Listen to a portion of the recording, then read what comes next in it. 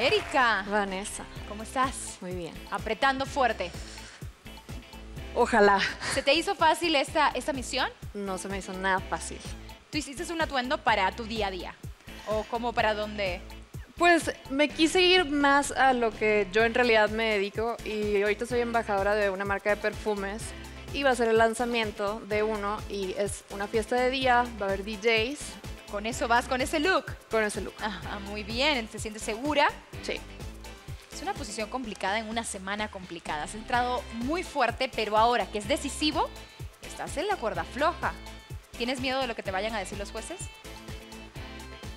Pues miedo no. O sea, me preocupa porque sí se me hizo una misión difícil, pero también los comentarios negativos creo que ayudan bastante. ¿Quieres saber qué te van a decir los jueces? Sí. Te invito a pasar. Gracias.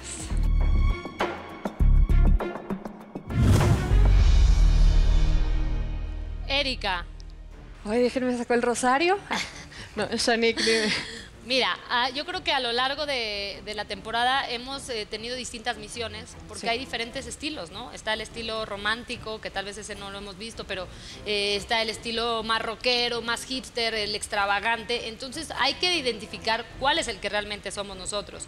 Entonces cuando tienes una misión de algo que realmente tal vez no es el 100% de tu personalidad, es más difícil. Pero creo que todos los que estamos en la televisión, incluyéndote a ti, porque estás aquí, tenemos algo de extravagancia.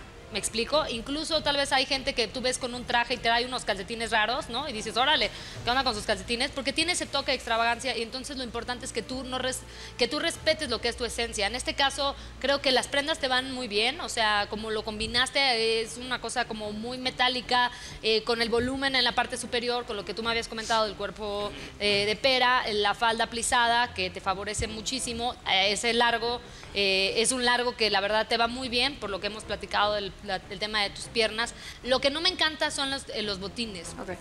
Gracias. Erika, David. Erika, eh, fíjate que a mí me gusta lo que traes, pero hubiera sido perfecto para mi gusto que en la parte de arriba te pusieras algo que tuviera una textura quizás peluche o algo medio loco en negro. Y te voy a explicar por qué. A ver. Porque estás, tienes estas, estas botas que son espectaculares, estos botines que son de cristales. Tienes la falda que es como un satinado metálico, que es otra textura. La chamarra para mí ya se va a otra tercera textura, que es la plasticosa. Entonces, y la cartera es como cuero, o sea, se ve como, como, un, como un vinipiel. Entonces, es una mezcla que no, no siento yo que logre una perfección.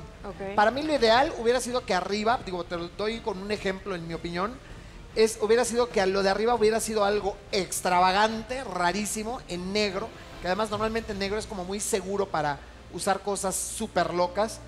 Y, este, y siento que hubiéramos logrado cerrar ese círculo. Gracias. Erika, Ah, pero. Oye, Dime. no, no me gustó nada. Ok, por. Nada, caray. Mira, te voy a decir, entiendo el concepto de lo de, de la, de plata o de dorado, ¿no? Eh, entiendo, pero aquí parece como que buscaste todo lo metálico que tienes en tu casa y te lo pusiste.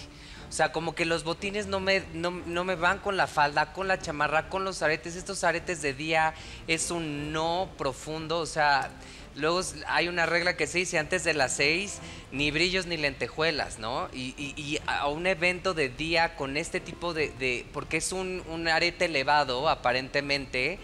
Y lo estás quemando con un look que de pronto la chamarra es como muy sport, ¿no? Porque es una chamarra sport, pero la falda es un poco más elegante, es más elevada, pero el botín, entonces siento que lo veo demasiado desfasado tu concepto.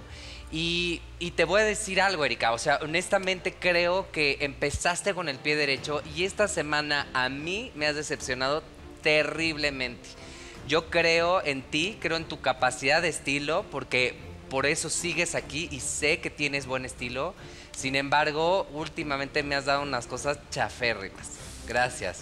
Gracias. Erika, ¿estás lista para conocer la calificación de los jueces? Sí, estoy lista. ¿Listos? Ahora, Gracias.